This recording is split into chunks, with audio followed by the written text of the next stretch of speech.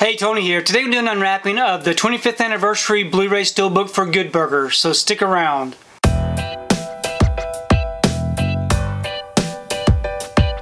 So I recently received my order for Good Burger. This is the 25th anniversary limited edition Steelbook. Here's the front, and here's the back. If you'd like to read up on it, you can go ahead and pause and do so. I'm to go ahead and remove this from the wrapper and we can take a closer look at this Steelbook. Okay, get the wrapper off and the J card removed. Here's the front of the Steelbook. It is a glossy Steelbook, no embossing or debossing. And then here's the back. We open it up. We have our front and back together.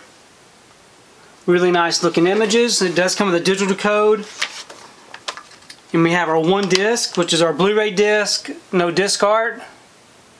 But we do have some very nice looking inside artwork. I, I do like the way that that looks. So overall, I think this is a really nice looking Steelbook. So I really didn't have the opportunity to get out in the store when this was released last week. Um, so I am happy that I was able to order this one online and it arrived in good condition, which I'm very thankful for. I know that this had a Blu-ray release um, last year, I do believe, that I never did pick up. So it's nice to actually have this one on a steelbook. Please leave me a comment below. Let me know what you think about the movie Good Burger, and also let me know what you think about this particular steelbook release. I really do enjoy reading your comments.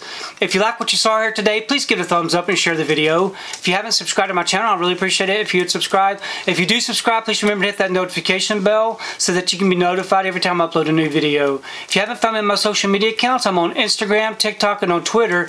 And if you'd like to find out what I've been watching, you can find me over on Letterboxd. I do have links below. But thanks again for watching, and we will see you next time.